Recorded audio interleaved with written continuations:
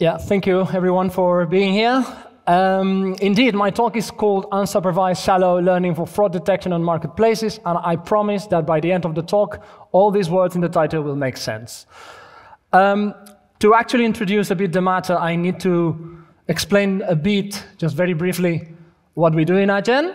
Uh, most likely you haven't heard of this company, but pretty sure that uh, we know you. Adyen is, in a sense, a, a payments processing a fintech. Um, it's, uh, it's working worldwide. We have our HQ in uh, Amsterdam, but with offices uh, all over the, the world. Um, if you have ever used Uber or Netflix or Spotify or you buy a Mango or McDonald's or Subway, any of those brands, we are the people behind doing the, the handling the payments.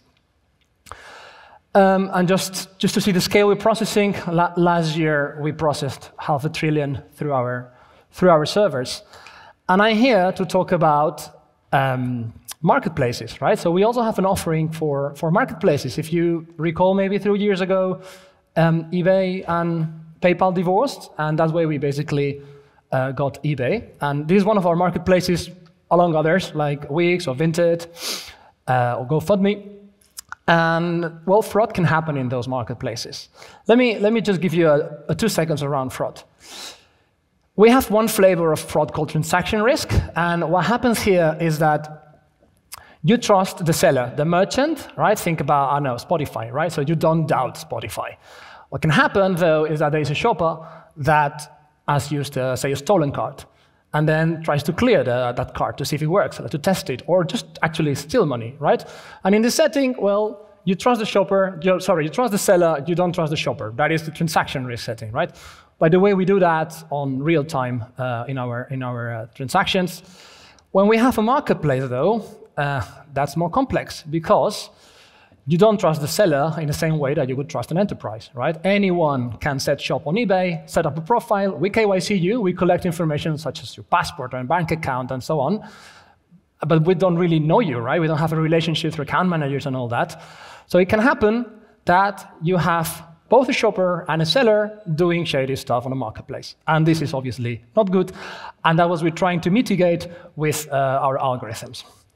To do that, we offer our uh, merchants uh, a tool called Score. And, and Score is a, is, a, is a product that marketplaces can use to detect fraud. And it works in two layers. Let me, let me explain briefly the architecture we have in Adyen.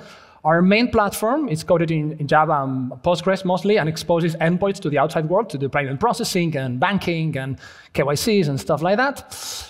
Uh, and next to it, we have a big data platform uh, that we don't expose publicly. It just serves for the decisioning to the, to the main platform, right?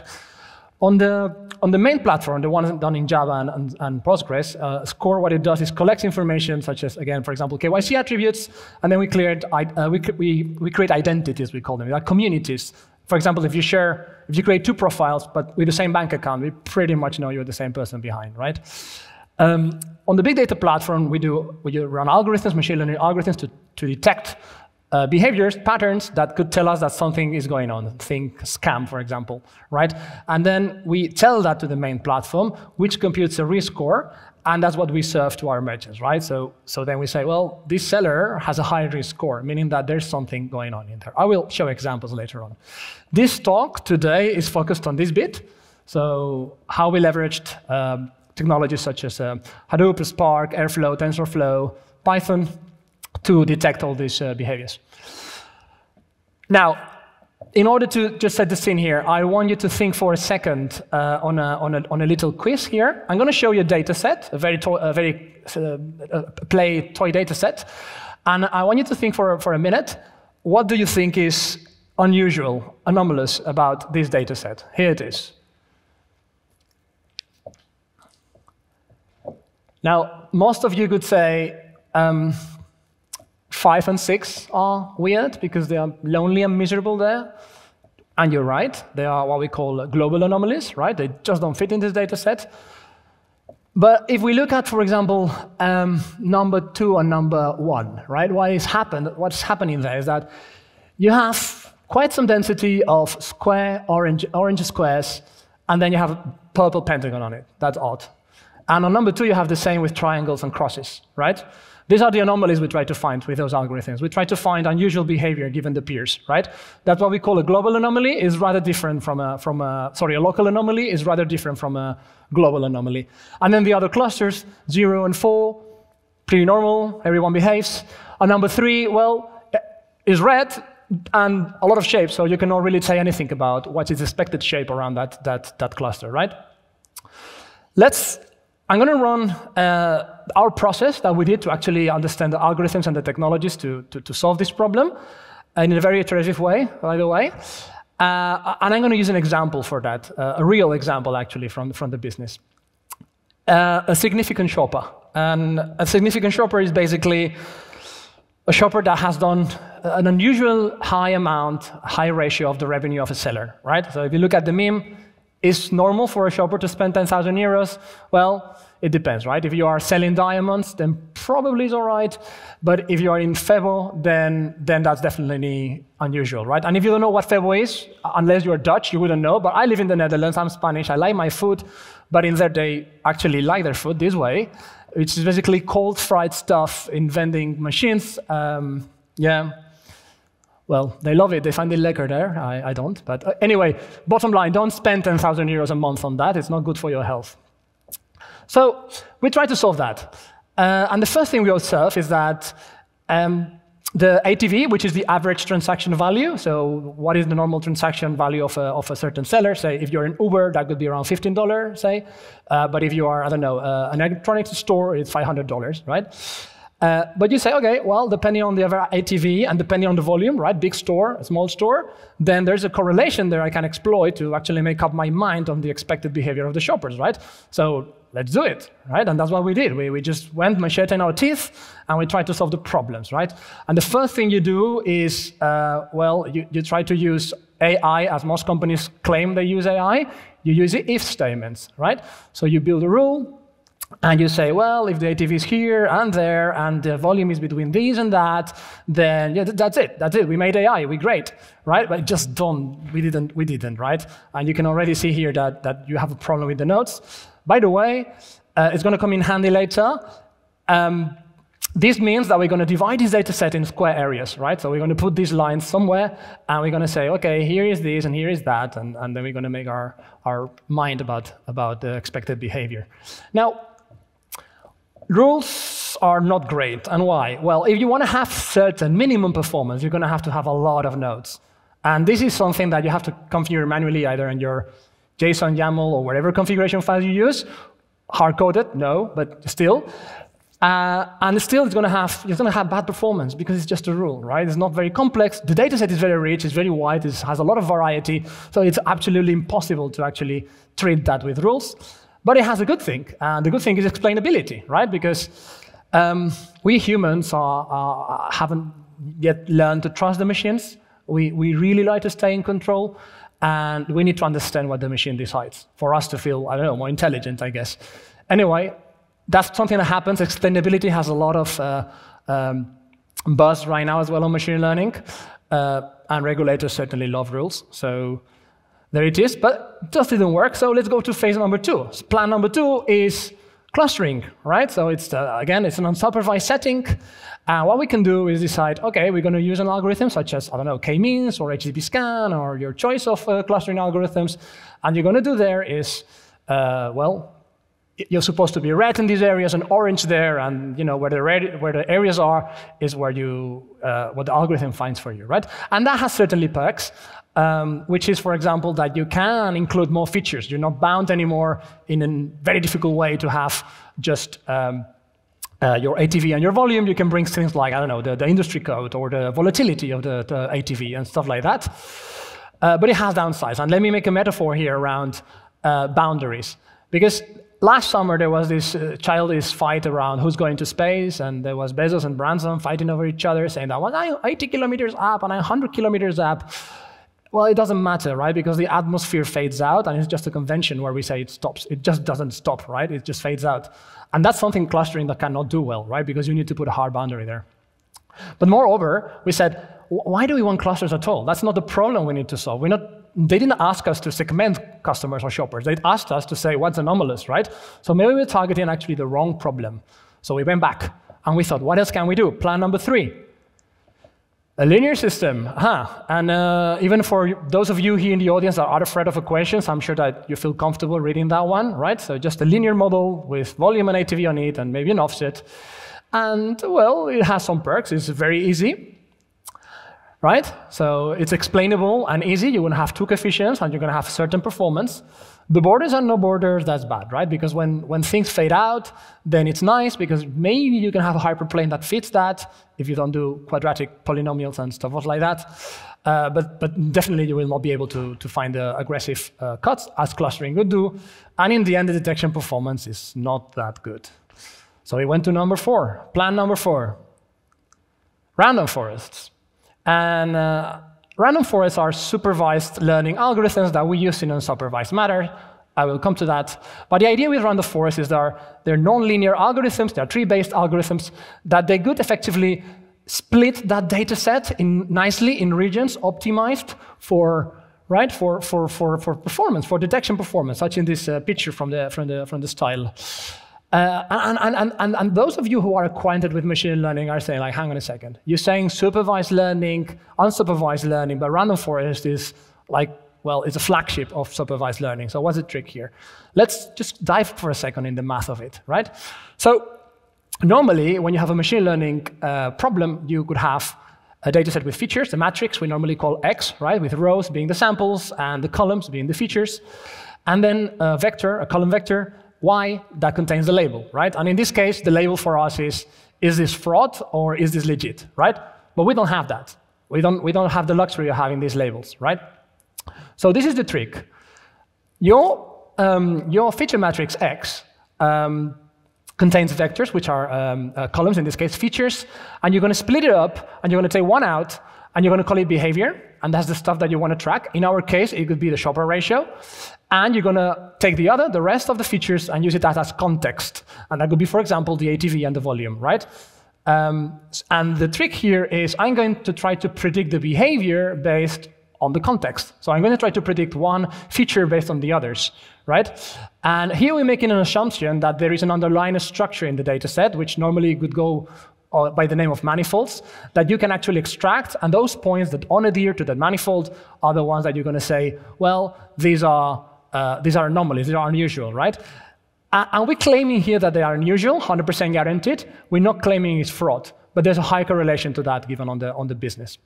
So again, we're going to transpose some uh, features, uh, one as, uh, as, the, as the target variable, the other ones just we're going to lean on them to do the predictions, and importantly, we're going to use a shallow regressor. And it has to be shallow because otherwise you're just going to overfit and you will not be able to extract the average behavior uh, over the data set. Right, so this is the bit uh, introduction uh, on, the, on, on why unsupervised. So if we go back to random forest, there's many, many things we like about them. There are, this there's an explainability embedded onto them because you can have feature, feature importance. Uh, you can bring certainly a lot of features.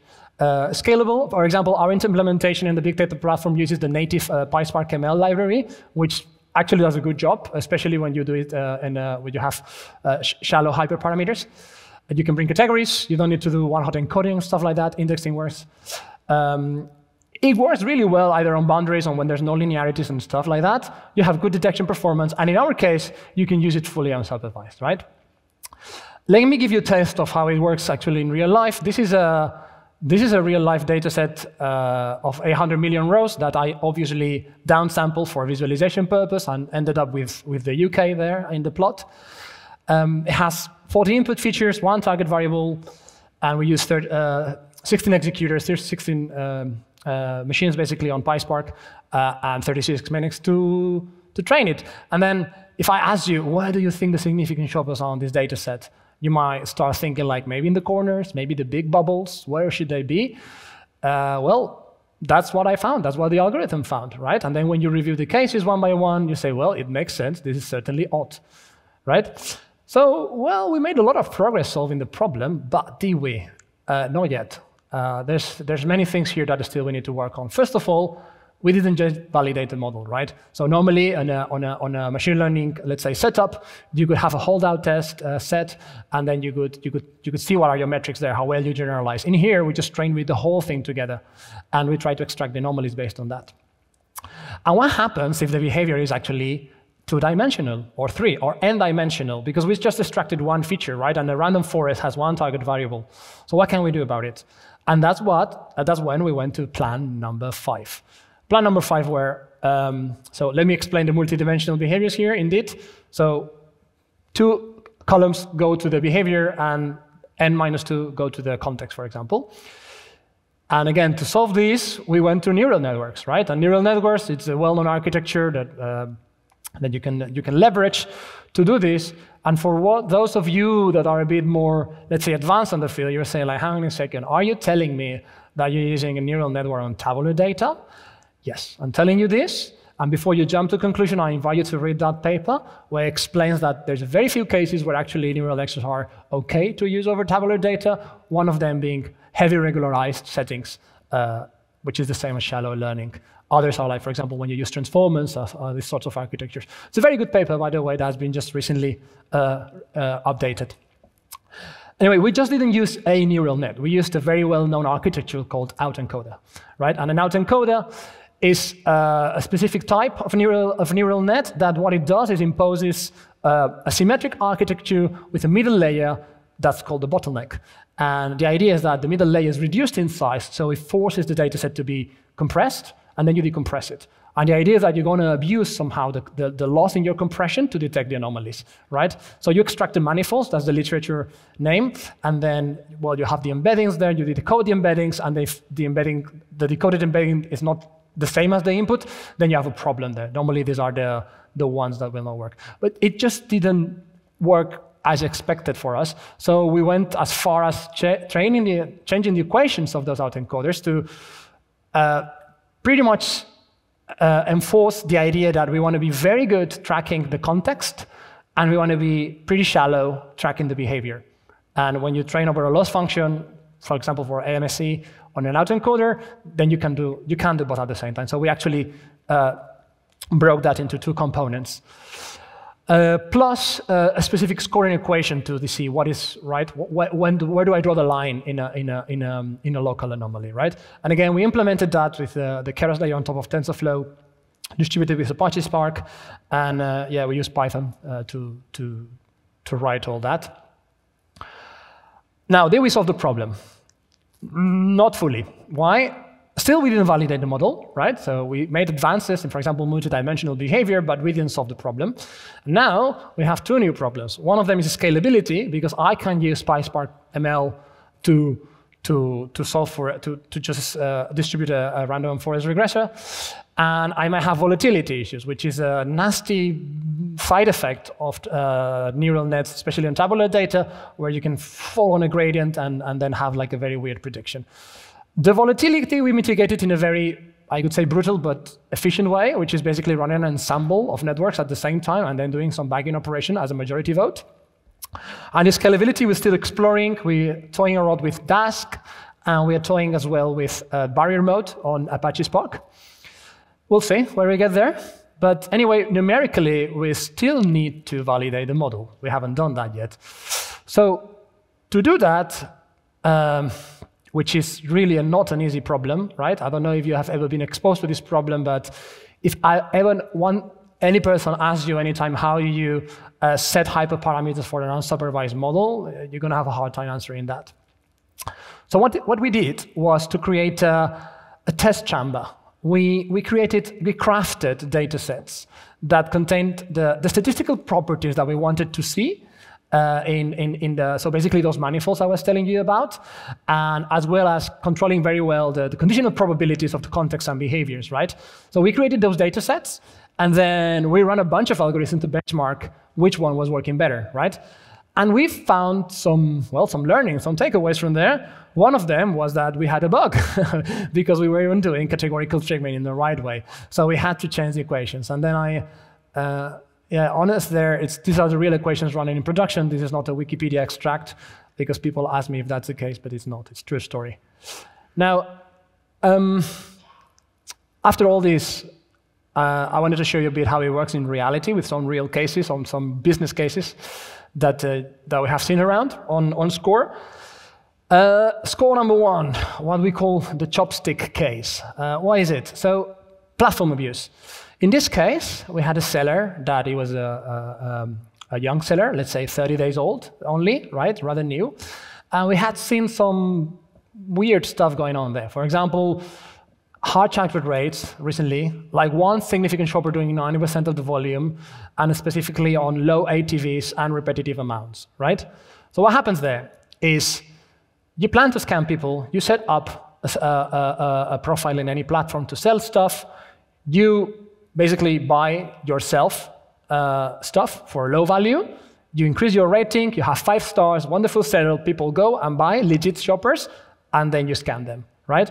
And we call it the chopstick case because one of our uh, food delivery merchants uh, found this out on uh, a Chinese restaurant that was ordering chopsticks for zero euros, so they could have the chance to bump their rating and, uh, and, and inflate it this way, right? So this is how it comes handy. We have the KYC attributes and we have transaction signals that give it away. Another case is account takeovers. Uh, if you are familiar with platforms and e-commerces, uh, account takeover is one of these monsters. Uh, what it means is that they're going to steal your credentials and then they're going to do stuff with it, which is not good. And how did we find out? Because we saw a recent change of KYC attributes and a sudden change in the transaction profile of that seller, right? Given away, for example, spikes and uh, on the volume itself and unusual growth, and also the variety of countries that we were seeing for that specific profile. Another case that doesn't happen a lot, but could happen, is money laundering, right? Uh, in this case, normally smurfing is the, the way to go. So you, you have repetitive amounts, and you have low authorization rate, and, um, and uh, sometimes prepaid methods. So you can also give it away tracking those behaviors. Another one is a fraud ring. This is less, um, this is more based on this uh, component uh, uh, where, where we, we, we put together uh, based on similar or, or, identical KYC attributes communities, right? Uh, and then each of those sellers had something off, like, for example, um, refusals for fraud or just a, a, low shopper variety. And once you basically had the lead on one, you have the lead on the six of them, right? So you can bump the risk score of all of them, right? This is, this is how, this is how um, score works. Now, what is next after all this? Did we, did we absolutely solve the problem already? So that's up and running, it's in production, you know, our merchants are using it. Is that it? Are we, are we doing anything else, or do we want to keep digging here? Um, let's go back a second on how we formulated the problem. Um, we um, had this data set, right? And there's a texture, there is a graph here that we, we have shoppers and we have sellers. And we said one seller is fraudulent and one shopper is also uh, fraudulent, and, and that's fine, right? Uh, what we did there, though, was if you think about how we posed the problem and how we solved the problem, was we uh, looked at the sellers and we looked at their surroundings, right? So we found a representation vector for the seller looking at their surroundings, which is exactly the same as saying that we broke these out into, into three different components and we evaluated them separately, right? Having them uh, having them uh, in, in three different components, right? That's a bit of a pity, isn't it? Because we, we had some valuable information here, right? What if this shopper and this seller were the same person, right? And what if, what, what happens if, if, if the people that connected to them were also in the mix? We would never know, right? Because that's just properties of the, of, of, of the texture of the, of the network, underlying network, that will give it away, right? This is the, well, this is basically graph machine learning, right? And this is where we're heading next. So what we're doing is uh, try to create those graphs, um, learn from them, right? And extract patterns that are way more, well, tasty, juicy, or at least way more representative based on the texture. Not only looking at the isolated uh, feature vector of each seller, but also throwing in, in the edges to see how they connect to each other, right? For that, we're using PyTorch, geometric, PyG. Uh, it's a really nice, it's a really nice uh, framework, which I encourage people to, to years. Uh, and um, yeah, I, I knew I, I, rushed a bit through it, sorry, Alexandra, but uh, last message here, Uh, we're hiring, yeah, sorry, I had to say it. And if you don't like the Dutch cuisine, as I don't do, you don't need to worry because we're also opening up a hub in Madrid. So then you can enjoy nice tapas. And uh, yeah, um, that was my presentation, uh, short and sweet. Uh, that's my LinkedIn. Feel free to connect. If you throw a message saying that you, you attended this talk, then it gives me some context, so I know you're not trying to sell me anything. And um, yeah, that's everything I wanted to tell you. Thank you.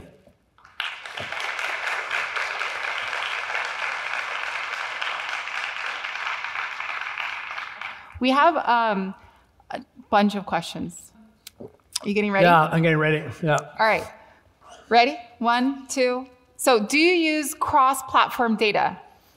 Uh, yes, we do. We are very open to our merchants about that, right? So we don't do shady stuff with it. So that, that's a bit the stance we have as a company. We try to be very ethical around data. Uh, at the end of the day, we do it with their permission. They know how we're doing, and we're doing for the better world, right? So it's not only for uh, commercial purposes or whatever, which just making their platforms better, and we also Mm-hmm. protecting the shoppers. So yeah, happy Okay, all so- around. It's a little bit of a win win then. It is. All right. Uh, second question we have here is, um, you've we've talked about this. You've mentioned it a little bit. Um, do you deploy machine learning models? Um, so for for Score, we don't. What we do is basically um, well, what I call Kleenex machine learning. Basically, you use them, you score them, you you get the signals, and then you can basically uh, remove the artifact. You don't need it. For online uh, fraud detection, we do deploy the models, and for that we have a, a stack that is based on uh, uh, MLflow, for example, to do that. Okay. And oh, I thought I was hearing something. Okay, so uh, this one's a little bit of a mouthful, so give me a second to to read it all out. Um, so it's how do you handle? Um, well, I guess it's a it's a two two prong question. Oh, and there's somebody else. Okay. All right, keep it, keep it, keep it coming. So, how do you handle um, the very fast pace of uh, fraud changing patterns with your solution? Um, like if there is a new type of fraud and you don't still have enough data um, to train models.